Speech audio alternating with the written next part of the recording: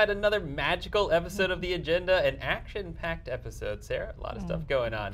There certainly is. The future has never been brighter, and we're here to help keep you up to speed and provide some clarity. I like the sound of that. Let's take a look ahead. Are you spring cleaning yet? If so, gather all of the household chemicals and other waste that you can't normally put on the curb for collection. Keep Port St. Lucie Beautiful makes it easy for PSL residents to dispose of all this stuff at the Household Hazardous Waste Collection and Tire Amnesty Day. Safely drop off and dispose of items like ammunition, automotive fluids, computer and electronics, oil-based paint, and drain cleaners. For the first time, residents also will be able to drop off cooking oil and grease. It will be poured into a tank and the oil will be recycled into biofuel. Because we want to provide clean, recyclable material, we are asking residents to remove bones or chunks of food, provide containers no larger than five gallons that must be labeled cooking oil, and please don't mix it with any other liquids. Another new feature this year is the addition of tires to the accepted list. Residents can bring up to four tires to drop off for disposal. All participants must be residents of Port St. Lucie. A full list of what is accepted and not is available on the city's website. Make sure you wear green when you drop off your hazardous household waste because you'll want to make your next stop the city's annual St. Patrick's Day Festival. The city's Parks and Recreation Department is once again teaming up with the Friendly Sons and Daughters of Ireland for this two-day salute to Irish culture. It all takes place at Village Square outside the Mid-Florida Credit Union Event Center. Saturday's event kicks off with the annual St. Patrick's Day Parade. Traditional culinary delights will be accompanied by Irish dancing, displays, activities, and carnival rides. Can you believe that the Port St. Lucie Botanical Gardens has been blossoming in the heart of PSL for a decade? When the Botanical Gardens opened to the public in 2010, more than 800 people flocked to check it out on its first day. We would love to see that many people and more come back to the gardens for its 10 year anniversary celebration. If you haven't been in a while, come and see how much has changed and grown. During this free special event, you'll be able to explore every nook of the gardens and talk directly with docents about what makes each part special. You'll also enjoy live music by Thunder Road, the same band that performed at the garden's opening day. They took a leap of faith to put um, trust in a bunch of volunteers to do what they said they thought they wanted to do. Yeah. And um, here we are, 10 years later, celebrating that benchmark. Grab your sunglasses and join us at the 2020 Citizen Summit, where we'll all be focused on PSL's bright future at this fun, interactive event themed 2020 Vision. We want residents to stay engaged with us as the City Council updates its strategic plan, which is Port St. Lucie's roadmap to the future. This is a continuation of the community conversation that began in 2018. Last year, we welcomed more than 600 people at our annual Citizen Summit who were eager to let us know what they think about the strategic goals. This is not your ordinary public meeting. Participants will be able to walk through fun, interactive booths geared towards each of the goals of the city's strategic plan. And don't leave the kids at home. We want their feedback too, and there will be civic related activities geared towards those six years old and up. We look forward to hearing our residents' vision for the city's future.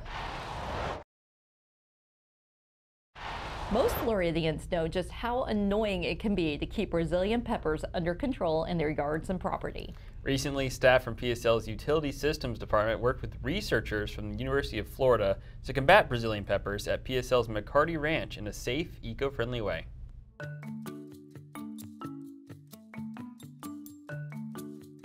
The University of Florida, the Indian River Research and Education Center, and the St. Lucie County Extension Office of the University of Florida worked together with the City of Port St. Lucie to deliver some insects for Brazilian pepper tree control. Today we released biological control insects for Brazilian pepper tree, the Brazilian pepper tree thrips. Uh, the insect is not a swarming insect, so it's a little tiny, almost microscopic, little black dot. What we do is we go to the areas where these plants are from, so Brazilian pepper, it's Brazil, and we look for insects that are feeding on our target plant. We then bring those insects back into specialized labs called quarantine facilities in the United States to be able to test them. The University of Florida had to prove that the insects were not going to be a problem. They couldn't be poisonous, toxic, they couldn't bite people, uh, they had to be host specific to Brazilian pepper tree. These insects are not invasive, they are completely safe and will only feed on Brazilian pepper. We're never going to be Brazilian pepper free, but it's going to be just another weapon in our arsenal against this invasive plant. So hopefully we'll use a little bit less herbicide when we manage these plants. It'll be a dollar cost savings, hopefully to the city of Port St. Lucie and to the taxpayers of the county. And will also serve to protect water quality, such as the beautiful lake that we see behind us here at McCarty Ranch. We've been doing biological control in Florida for over 100 years, and we, so we have a lot of experience and a lot of really good success stories behind us. In terms of square footage, the largest building in the city of Port St. Lucie has officially opened its doors. We're sure you've seen the new Tamco building's colorful lights as you drive along I-95 near PSL's Southern Grove. City officials joined TAMCO, the parent company of City Electric Supply, as they celebrated the ribbon cutting of this very impressive 411,000 square foot facility in tradition.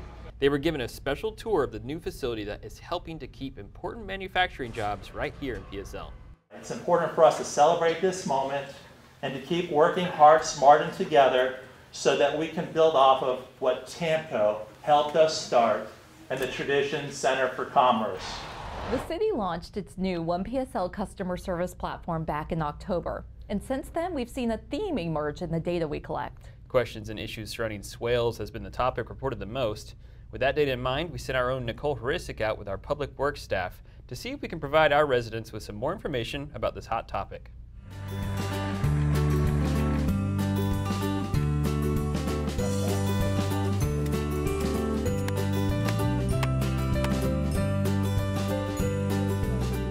Hey guys, I'm here with Vince from the Public Works Department, and today he's going to tell me a little bit what he does.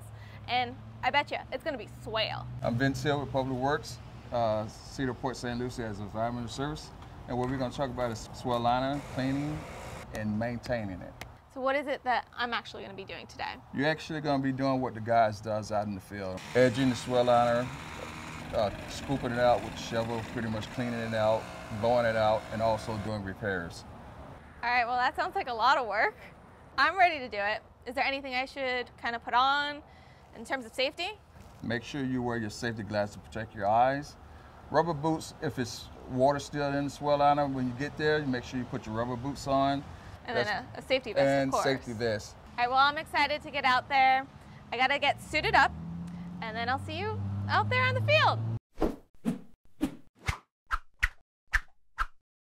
Let's do it.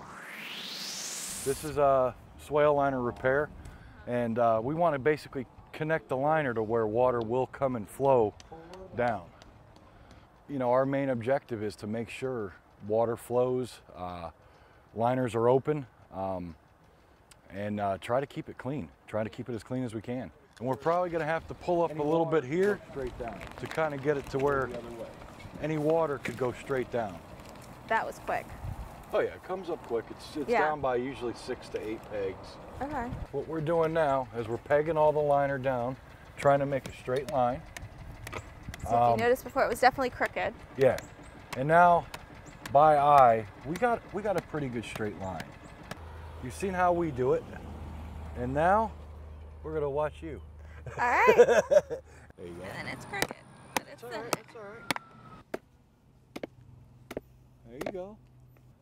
There you go. Perfect. Here we are, getting ready to use the blower to spread our debris out and uh, make it look like it's just grass here in this area.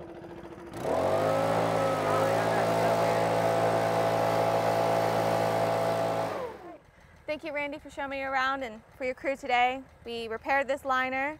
I think it was a, definitely a huge learning experience for me. Anything that you want the homeowners to take away?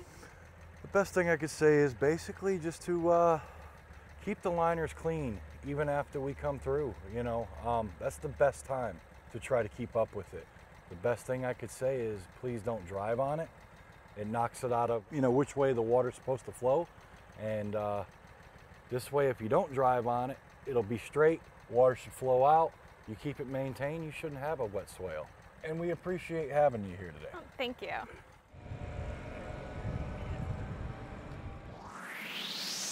Thanks, guys. It's a lot of hard work keeping those swales clean, but that's just what we do. Until next time, see ya.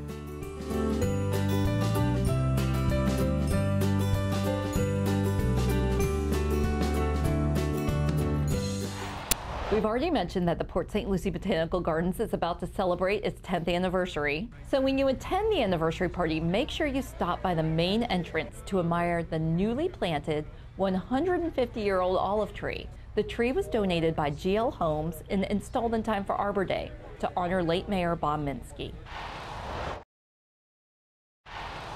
Our February River Nights event was a perfect opportunity to learn all about the great improvements coming to PSL's riverfront.